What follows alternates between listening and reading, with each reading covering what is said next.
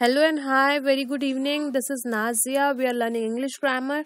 I welcome you all to Ajay Sahu online classes और हम पढ़ रहे हैं आर्टिकल्स और ये है आर्टिकल से पार्ट थर्ड जिसमें मैंने आपको कहा था कि मैं आपको पढ़ाऊँगी ओमिशन ऑफ़ आर्टिकल्स मतलब कुछ ऐसे रूल्स बताऊँगी कुछ ऐसे एग्ज़ाम्पल सेंटेंस के हेल्प से मैं आपको चीज़ें बताऊँगी जहाँ पे मैं आपको ये बताऊँगी कि हमको कहाँ पर आर्टिकल्स का यूज़ नहीं करना है कहाँ पर कोई भी आर्टिकल नहीं लगेगा। ए एंड द हमको स्किप करना है। तो हम, हमारा जो सेशन है, वो स्टार्ट करते हैं। ठीक है? तो ये हमारे चैनल के कुछ इंपॉर्टेंट लिंक्स हैं। इन इनके थ्रू आप हमसे कनेक्टेड हो सकते हैं अपडेटेड रह सकते हैं। तो शुरू करते हैं हमारी क्लास जो कि है ओमिशन ऑफ़ आर्टिकल्स या फिर हम बोल सकते हैं यूज़ ऑफ़ नो आर्टिकल ठीक है? तो यहाँ पे मैं बहुत सारे एग्ज़ाम्पल सेंटेंसेस ली हूँ। और अलग अलग पेजेस पे आपको अलग अलग रूल्स देखने को मिलेगा तो मैं आपको वन बाय वन समझाती भी जाती हूँ और एग्ज़ाम्पल के हेल्प से बताती हूँ कि हमने क्यों यहाँ पे आर्टिकल नहीं यूज़ किया हुआ है और आर्टिकल यूज़ करने से क्यों वो सेंटेंस गलत हो जाएगा। तो सबसे पहले तो आपको कुछ चीज़ें बिल्कुल याद रखनी होगी मेमोराइज करना होगा। तो यहाँ पे जो मैंने फ़र्स्ट रूल लिया हुआ है, वो फ़र्स्ट रूल ये है कि जब भी आप किसी मेटल का नाम देखेंगे, ठीक है? मेटल का नाम देखेंगे gold silver iron copper bronze कुछ भी, ठीक है? तो आप किसी तरह का आर्टिकल यूज़ नहीं करेंगे, ठीक है? जैसे मैंने यहाँ एग्ज़ाम्पल में क्या लिखा हुआ है? Iron and cold are found in India दूसरे में यहाँ पे क्या लिखा हुआ है कि गोल्ड इज़ वेरी कॉस्टली अब यहाँ पे आप द गोल्ड नहीं करेंगे, ठीक है? ये मैंने आपको कब बताया था? जब मैंने आपको शायद नाउन पढ़ा रही थी और काइंड्स ऑफ़ नाउन में जब मैं आपको मटेरियल नाउन जब मैं आपको पढ़ा रही थी, तभी मैंने आपको ये रूल बताया था कि आर्टिकल्स का यूज़ नहीं होगा, ठीक है? मटेरियल नाउन जो होते हैं, जो मेटल्स होते हैं, उनके आगे आर्टिकल्स नहीं लगता है तो ये आपको पहले से भी याद होगा तो ये चीज़ आप यहाँ पे भी ध्यान रखेंगे। उसके बाद आप देखिए सेकंड रूल क्या बोलता है? सेकंड रूल में ये है कि जब भी आप किसी लैंग्वेज का नाम लिखेंगे तो आप कोई आर्टिकल यूज़ नहीं करेंगे। जैसे आप अगर कह रहे हैं हिंदी, आप कह रहे हैं इंग्लिश आप कह रहे हैं अरबिक आप कह रहे हैं संस्कृत बंगाली वट तो आप जब उसे सेंटेंस में यूज़ करेंगे तो आप द यूज़ नहीं करेंगे।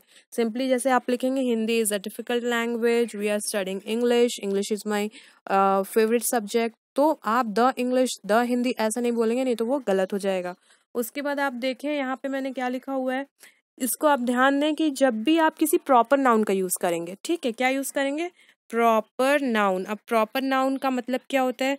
प्रॉपर नाउन का मतलब यही होता है कि किसी भी चीज़ का जो स्पेसिफिक या फिर पर्टिकुलर नाउन नेम होता है, नाम होता है, विशेष नाम होता है, उसे हम प्रॉपर नाउन कहते हैं। तो किसी भी प्रॉपर नाउन वेदर वो किसी किसी पर्टिकुलर पर्सन का नाम हो कंट्री का नाम हो मंथ्स का नाम हो, या डेज़ ऑफ़ द वीक का नाम हो, किसी फेस्टिवल का नाम हो, किसी कंट्री तो मैंने कह ही दिया कॉन्टिनेंट का नाम हो, किसी भी चीज़ का एक प्रॉपर नाउन नाम जब आएगा तब आप यूज़ नहीं करेंगे। क्या यूज़ नहीं करेंगे? आर्टिकल्स यूज़ नहीं करेंगे। हाँ एक्सेप्शंस क्या है वो आपको मैंने लास्ट सेशन में बताया होगा। हालाँकि वो कोई एक्सेप्शन नहीं है, वो रूल्स हैं। लेकिन इस इस रूल से अगर वो एक्सेप्शन है तो मैंने आपको बताया ही है कि किन चीज़ों के आगे द का यूज़ होता है। लास्ट सेशन में मैंने आपको बताया ही है, अगर आपने नहीं देखा है तो आप लास्ट सेशन जो ना पार्ट वन और पार्ट टू है तो उसे ज़रूर देखें। तो आप याद रखेंगे कि इन नाम्स के आगे आप दा नहीं लगाएँगे। जैसे कि मैं आपको एग्ज़ाम्पल से बता दूँ, अब यहाँ पे कंट्री के नाम दिए हुए हैं इंडिया चाइना जापान तो हम कभी भी the India the China the Japan नहीं लिखते हैं, ठीक है? एशिया, किसी भी तरह का आर्टिकल ए हो एन हो, द हो, कोई भी आर्टिकल हो यूज़ नहीं होगा कंट्रीज़ के नेम के आगे। उसके बाद ये कॉन्टिनेंट के नाम में मैंने एशिया लिया हुआ है, कभी भी यहाँ पे इसके आगे कोई आर्टिकल्स का यूज़ नहीं होगा। उसके बाद यहाँ पे मैंने लिखा हुआ है, साइमा गांधी जी, ये नेम ऑफ़ पर्सन हो गए नेम ऑफ़ प्लेस हो गया Agra then March name of a month then Saturday name of day of of the week उसके बाद क्रिसमस जैसे कोई क्रिसमस फेस्टिवल हो गया, होली हो गया, दिवाली हो गया तो the Holi, the Diwali, the Christmas इस तरह से नहीं बोलेंगे। ठीक है? तो यहाँ पर हमको बिल्कुल आर्टिकल्स को ऑमिट करना है।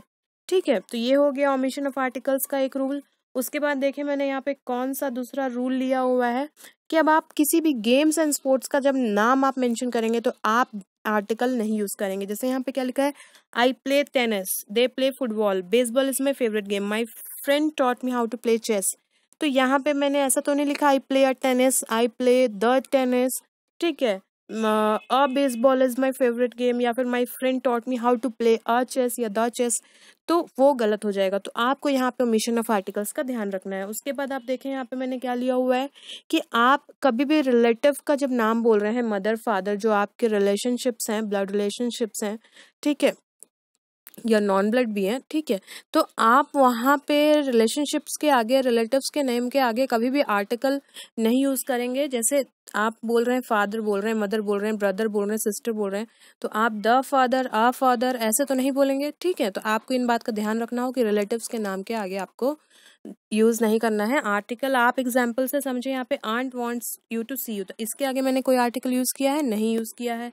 Mother is the symbol of love simply mother okay sister means affection simply system उसके बाद आप देखें मैंने यहाँ पे क्या लिया हुआ है कि जब भी हम कुछ ऐसे नाउन लेते हैं जो अनकाउंटेबल हो जिनको हम नंबर्स में काउंट नहीं कर सकते ठीक है? और फिर कुछ ऐसे एब्स्ट्रैक्ट नाउन एब्स्ट्रैक्ट नाउन मैंने आपको पहले पढ़ाया हुआ था वो चीज़ें जिन्हें हम टच नहीं कर सकते फील कर सकते हैं जिनका कोई फ़िज़िकल uh, एग्जिस्टेंस नहीं होता है तो ये दोनों रूल मैंने कंबाइन करके लिया हुआ है एक तो अनकाउंटेबल एक तो अब्स्ट्रैक्ट नाउन दोनों को मिक्स नहीं करेंगे अलग अलग से समझेंगे, मैंने एग्ज़ाम्पल भी अलग से लिया हुआ है।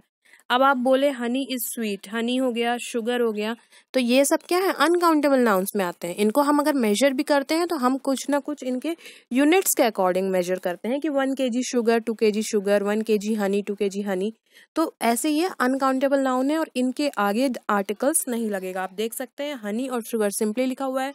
Honey is sweet sugar is bad for your teeth ठीक है? उसके बाद आप देखें ये एग्ज़ाम्पल है जो तीसरा वाला एग्ज़ाम्पल है wisdom is better than riches तो यहाँ पे जो विजडम है विजडम uh, मतलब होता है बुद्धि ठीक है? तो विजडम यहाँ पे हो गया अब्स्ट्रैक्ट नाउन और अब्स्ट्रैक्ट नाउन के आगे आपको द ए या आन का यूज़ नहीं करना है और आपको सबसे बड़ा चैलेंज आपके लिए ये होगा कि अब आप पहचानेंगे कैसे कि वो कौन सा पर्टिकुलर नाउन है। तो इसके लिए आपको चाहिए लॉट्स ऑफ़ प्रैक्टिस और जो भी लेसन्स मैं आपको लेती रहती हूँ, आप सारे लेसन्स को देखें, क्योंकि कहीं ना कहीं सारे लेसन्स इंग्लिश ग्रामर में खास करके एक दूसरे से बिल्कुल इंटरलिंक रहते हैं। तो आप को सारे लेसन्स देखने ज़रूरी हैं, आप सारे लेसन्स को देखें। अगर आपने पहले के प्रीवियस लेसन्स नहीं देखे हुए तो उनको भी देखें। बिकॉज़ कहीं ना कहीं पे कुछ चीज़ों का ऐसा ज़िक्र आ आ जाता है जो हमने पहले पढ़ा हुआ है तो मैं उन चीज़ों को आपको रिलेट करके बताती हूँ। ठीक है? तो यहाँ पे wisdom is better than riches तो wisdom is is an abstract noun and we do not use any article before. Abstract noun उसके बाद आप देखें अनकाउंटेबल्स नाउन में द तब लगता है जब हम पर्टिकुलर सेंस में बात कर रहे हो स्पेसिफिक सेंस में बात कर रहे हो, ये आप ध्यान देंगे। कैसे? Would you pass the sugar अब यहाँ पे हम शुगर जो है, उसे जनरल सेंस में बात नहीं कर रहे हैं। Would you pass the sugar हो सकता है कि बाजू वाले टेबल से कहीं पे शुगर रखा हो, या फिर would you pass the salt ठीक है एनीथिंग हम कुछ भी बोलते हैं ना, ठीक है तो हो सकता है कि the sugar on the table मतलब हो सकता है वहाँ पे रखा हो, हम उसे पास करने के लिए बोल रहे हैं। तो वहाँ पे हम पर्टिकुलर पर्टिकुलर सेंस में बात कर रहे हैं, तब हम वहाँ पे द लगाएँगे। ठीक है तो ये चीज़ें आपको ध्यान में रखनी है कि किस तरह का सेंटेंस पूछा गया है। बेसिकली आपका असली टेस्ट यहीं पे देखा जाएगा। ठीक है तो आपको यहाँ पे ध्यान रखना है डिफ्रेंशिएट कैसे आप करेंगे। इसलिए मैं आपको साथ साथ में कुछ अगर एक्सेप्शंस हैं तो उनको भी पढ़ाती हूँ बिकॉज़ हो सकता है कि एग्ज़ाम में कई तरह से क्वेश्चन पूछे जाएँ। उसके बाद आप यहाँ पे देखें मैंने क्या लिया हुआ है? अब मैंने यहाँ पे लिया हुआ है कुछ एब्स्ट्रैक्ट नाउन के एग्जाम्पल्स तो आप देख सकते हैं पहले पे यहाँ पे क्या लिखा हुआ है? ट्रुथ प्रिवेल्स अब truth is an abstract noun you can not use you can not use the article before it then knowledge is power knowledge is power love is God यहाँ पे knowledge love truth honesty is the best policy then poverty is the worst crisis wisdom will win ये सारे क्या abstract noun इनके पहले articles का use नहीं होगा। उसके बाद आप यहाँ पे देखें कि जब भी आप, जब भी आप काउंटेबल नाउन यूज़ करेंगे और प्लूरल सेंस में यूज़ करेंगे, जैसे चिल्ड्रेन हो गया कंप्यूटर्स हो गया, जब आप उन्हें जनरल सेंस में बात कर रहे हैं, ठीक है? तब आप आर्टिकल्स नहीं लगाएँगे, जैसे चिल्ड्रेन यूजुअली रस अबाउट ठीक है? मतलब बच्चे जो है, भागते, दौड़ते रहते हैं, ठीक है? मतलब एक जनरल सेंस में बात की गई है, कोई भी बच्चा। हम नहीं जानते हम किस बच्चे के बारे में बात कर रहे हैं, हम जनरल सेंस में बात कर रहे हैं। Computers are useful machines computer के बारे में बता रहे हैं या मोबाइल फोन्स हो गया, बहुत यूजफुल है। तो हम अभी किसी पर्टिकुलर डिवाइस के बारे में बात नहीं कर रहे हैं, हम इन जनरल बात कर रहे हैं, तब हम आर्टिकल नहीं लगाएँगे जब हम इन जनरल बात कर रहे हैं, और उसी के साथ आप ध्यान दें कि जब इन्हीं का यूज़ पर्टिकुलर सेंस में हो जाता है तो फिर हम यूज़ करते हैं द यूज़ करते हैं। वेयर आर द चिल्ड्रेन ठीक है? वेयर इज़ द फ़ोन हो सकता है मैं अपने ही फ़ोन के बारे में पूछ रही हूँ, अपने ही बच्चों के बारे में पूछ रही हूँ। ठीक है तो यहाँ पे हम यूज़ करेंगे द उसके बाद आप देखें, यहाँ पे लिखा हुआ है, अब आप यहाँ पे थोड़ा सा ध्यान दें। यहाँ पे कुछ वर्ड्स बोल्ड में लिखे हुए हैं। किसी ना किसी प्लेस का नाम दिया हुआ है, ठीक है? अब इनके आगे आर्टिकल नहीं लगा है। तो आपको ध्यान देना होगा कि ये जो नाम है college court hospital school university ठीक है? अब आपको क्या देना है, ध्यान देना है कि ये जो जगह है, जैसे कॉलेज हो गया तो कॉलेज में हम क्या करने जाते हैं? पढ़ने हॉस्पिटल में ट्रीटमेंट कराने, ठीक है? यूनिवर्सिटी स्कूल कॉलेज का एकेडमिक्स से रिलेटेड है। जब हम इन पर्टिकुलर प्लेसेस को सिंपली एक बिल्डिंग या ऑब्जेक्ट के रूप में इंडिकेट कर रहे हैं, तब हम द यूज़ करेंगे। ठीक है, अभी हम इन प्लेसेस की नॉर्मल एक्टिविटी के बारे में बात कर रहे हैं तो हम यहाँ पे द यूज़ नहीं करेंगे। I am going to college I work at court his dad is still in hospital we learn English at school he is at university मतलब अगर मैं कॉलेज जा रही हूँ तो पढ़ने जा रही हूँ, उनके फादर अगर हॉस्पिटल में है तो ट्रीटमेंट के लिए है। ये हमको इतना समझ में तो आ ही रहा होगा पढ़ के, ठीक है? तो इस चीज़ को ध्यान में रखना है कि जब नॉर्मल एक्टिव उस पर्टिकुलर प्लेस के नॉर्मल एक्टिविटी के बारे में बात की जा रही है, तब हम आर्टिकल्स नहीं यूज़ करेंगे। उसके बाद आप देखिए, मैंने यहाँ पे नेक्स्ट क्या लिया हुआ है कि the is use before this words when the reference is to the building ये जो मैंने आपको बोला कि जब उस पर्टिकुलर जगह के बारे में सिर्फ़ as a building as a object या जस्ट लोकेशन बताने के लिए यूज़ किया जा रहा है, तब द यूज़ करेंगे। जैसे I met her at the church तो यहाँ पे चर्च में हम प्रे करने गए हैं, ये यहाँ पे मेंशन नहीं किया गया है। सिंपली ये बताया जा रहा है कि मैं उससे चर्च पर मिला या मिली, ठीक है? I went to the hospital to see my friend सिर्फ़ अपने फ्रेंड मैं अगर हॉस्पिटल गई हूँ, अपने फ्रेंड को देखने के लिए, ना कि खुद के ट्रीटमेंट के लिए, ठीक है? तो यहाँ पर हम द यूज़ करेंगे। तो इस तरह से आप डिफ्रेंशिएट करें और ध्यान दें इन चीज़ों को। तो इस सेशन में इतना ही और यहाँ पे मैं आर्टिकल्स का जो पूरा का पूरा सेशन है, वो यहाँ पे मैं एंड करती हूँ।